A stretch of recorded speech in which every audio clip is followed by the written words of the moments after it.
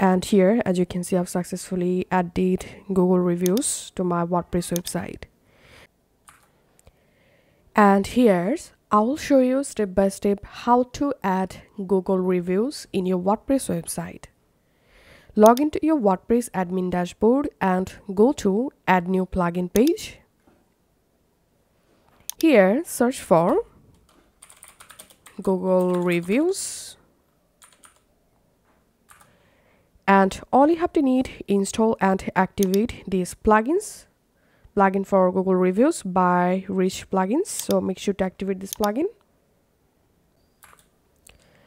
And once the plugin successfully activated here you see these uh, connect google option.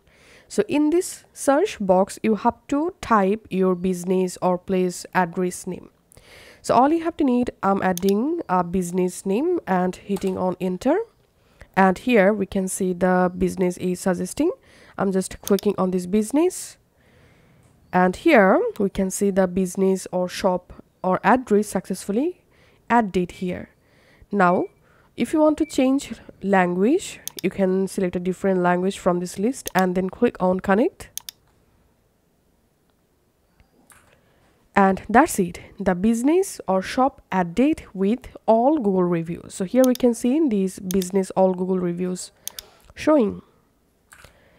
And now it's time to customize these google reviews. So in this right hand menu we can see the layout drop down so click on this layout drop down and here you can select slider you can select grid you can select list just like so. You can also select only rating in my case i'm selecting here slider and click on common options. And here you can enable or disable uh, show rating by center option. You can enable or disable hide business photo hide business name and then click on slider options. And speed in seconds you can change it from here. You can change text hide you can enable or disable autoplay. So go ahead and adjust your uh, Google review slider or Google review from here. And then click on your business name. And here you can change your business name. You can uh, make sure to check this option update reviews daily. And now uh, all you have to need click on save and update. And here you see the google forms sorry uh, google reviews shortcode so all you have to need copy this shortcode and now go to the post or page and you have to edit the post or page where you want to add google reviews.